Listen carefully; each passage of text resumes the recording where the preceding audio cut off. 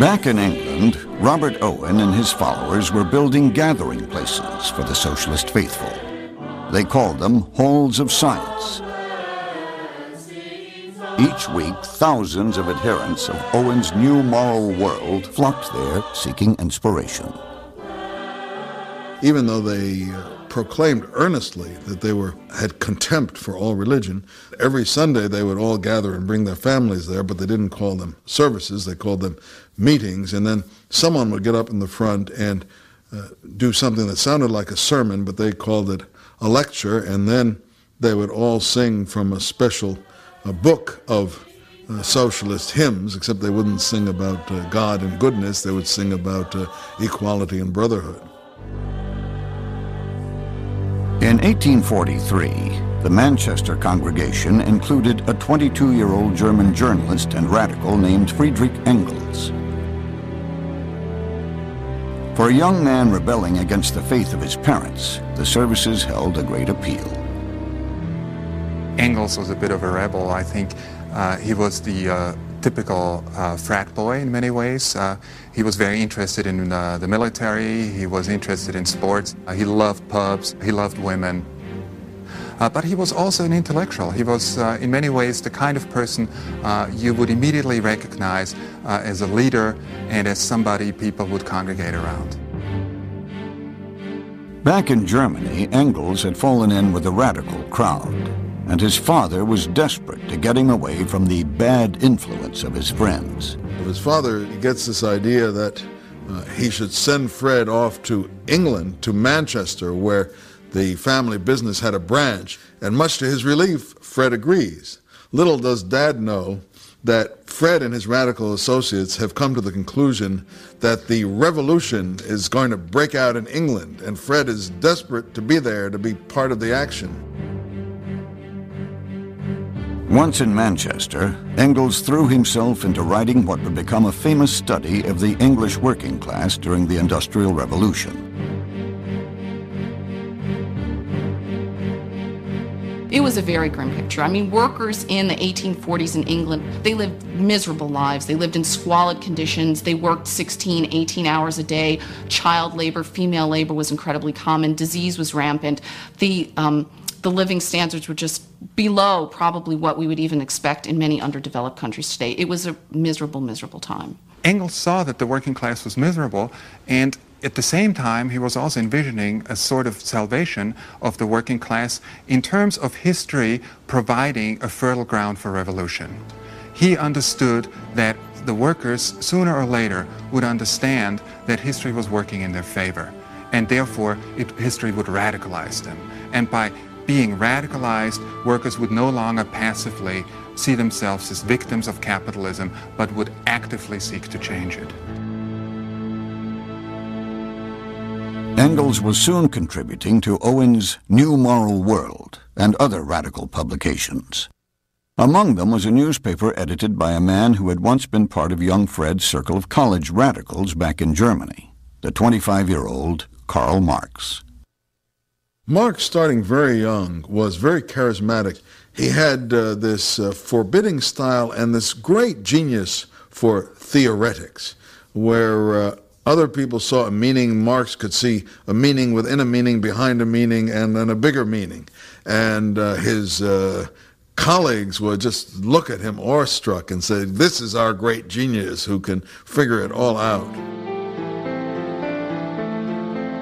Marx had little use for the ideas of his colleagues. But one of Engels' articles caught his eye. The two men began corresponding, and in the summer of 1844 they arranged to meet in Paris. It was the beginning of one of the most intellectually fruitful partnerships in history. Marx was the prophet. His personality and his nature made him a flamboyant and charismatic figure, and Engels was very willing to defer to that. But Engels' early work and early research really provides much of the foundation upon which Marxism is later built. And Engels, of course, also supports Marx not only through his research, but financially and psychologically. And so without Engels, in any number of ways, Marxism would never have come to be. In January 1848, students and workers took to the streets of Palermo. By February, the revolt had spread to Paris. Soon, nearly 50 uprisings engulfed the European continent from Russia to the English Channel.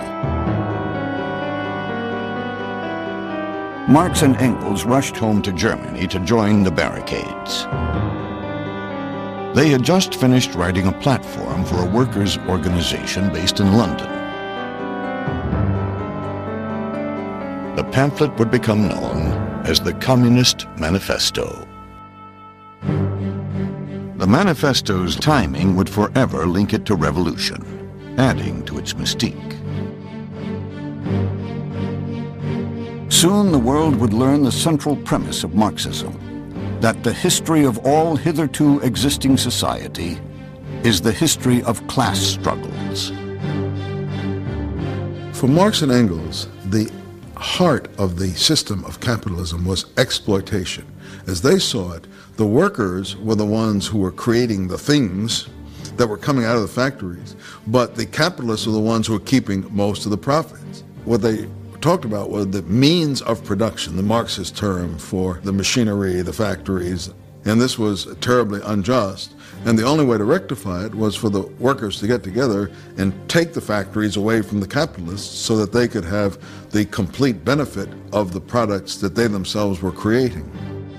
The Communist Manifesto predicted that as capitalism progressed, the working class would become so large and so poor that revolution would be inevitable.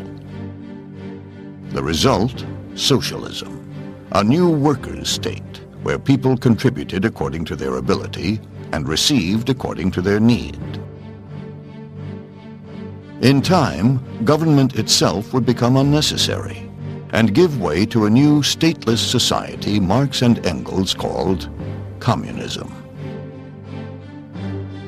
What Marx and Engels said was don't worry, whatever happens to you, no matter how miserable your lives are, no matter how desperate your political struggle seems, history is working its way towards this outcome. And that's what gives Marxism its incredible force.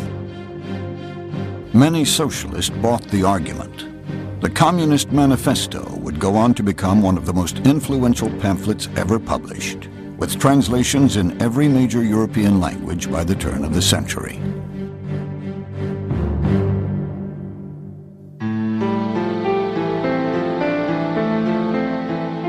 But the manifesto was just a summary. Marx soon set to work on a volume that would lay out a comprehensive theory of socialism. In 1851, Marx wrote to Engels that he hoped to finish it in five weeks. But five weeks grew into five years, and then another and another five. All the while, Marx depended almost entirely on Engels for financial support. The one time Marx went out and got an actual job was as a correspondent for the New York Tribune newspaper. Uh, but uh, he didn't speak English. And so he couldn't write the articles himself. Engels did speak English, and he got Engels to ghostwrite the articles for a number of years until he got his own English up to a level where he could write some himself.